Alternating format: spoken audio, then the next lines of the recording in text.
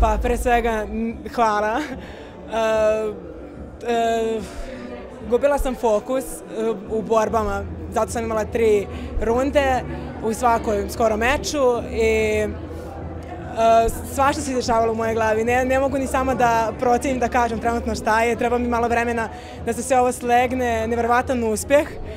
I pogotovo što je pre par nedelja bilo Grand Prix i tamo sam bila druga i stvarno još uvijek ne mogu da verujem što se desilo i žao mi je što nije bilo zlato, ali idemo dalje, za šest mjeseci je novo svetsko i First of all, thank you.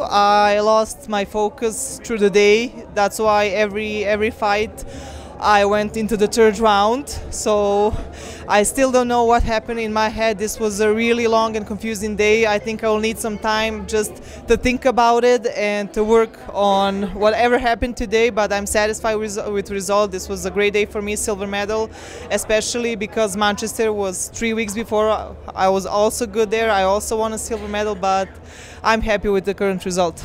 Uh, pa taj moj izgubljeni fokus, mislim u, u prvoj rundi sam mogla da dobijem, ali eto to je na trenutak i fokus i sve nestao, ali sam se vratila u drugo i možda moja brzopletost uh, u tom to što smo imali 20 sekundi pred kraj i što sam krenula da jurim umesto da i dalje vodim borbu kako sam vodila do kraja. Uh, as I said before, that focus that I lost during the day, and especially in the first round in the final match, because I could have won that round, so that made a difference. And especially in the third round, it was 0 0 almost until the end. And the last 20 seconds, I just want to rush to make a point, and maybe that was my biggest mistake. Pa došla sam sa tim ciljem da pobedim ove protivnice, došla sam da uzmem zlato.